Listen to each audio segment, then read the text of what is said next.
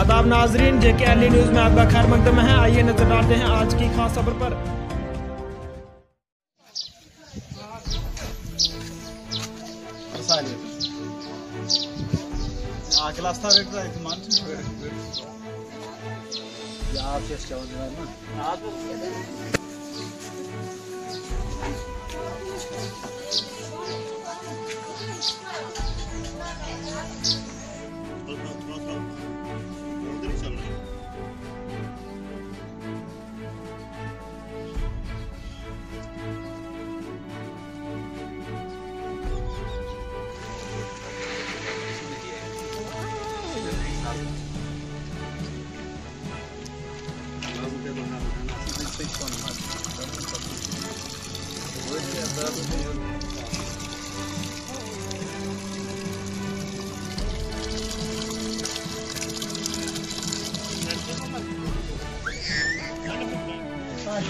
जिससे ग्राम पंचायत सहारका का इलाका है, इसमें कम से कम चार से पाँच हज़ार तक लोग रहते हैं।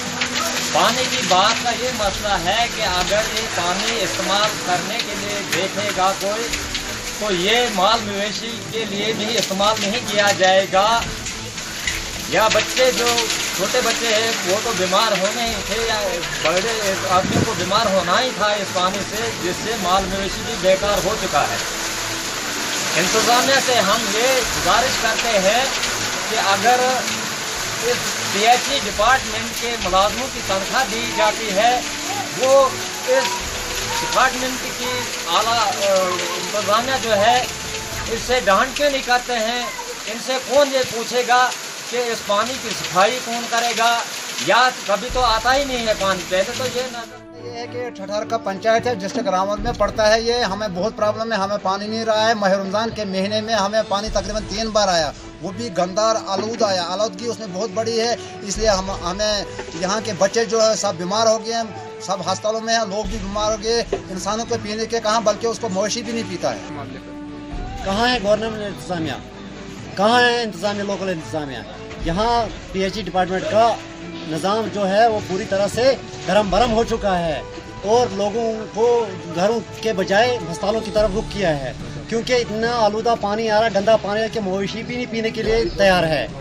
तो हम प्रोटेस्ट इससे पहले भी बहुत हमने रिक्वेस्ट की है पीएचई डिपार्टमेंट से और गवर्नमेंट इंतजामिया से लेकिन कोई हमारा मसलों का उजाला नहीं किया। जी हम ये रिक्वेस्ट कर कर रहे हैं क्योंकि हमारे यहाँ सर, सर हम यही रिक्वेस्ट कर रहे हैं।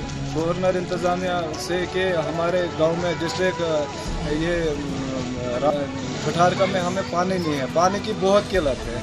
बच्चे पी रहे हैं जो बच्चे पी रहे हैं वो बीमार हो गए घरों के बदले वो अस्पतालों में लोगों को सर प्रॉब्लम तो बस यही पानी की प्रॉब्लम आ रही है।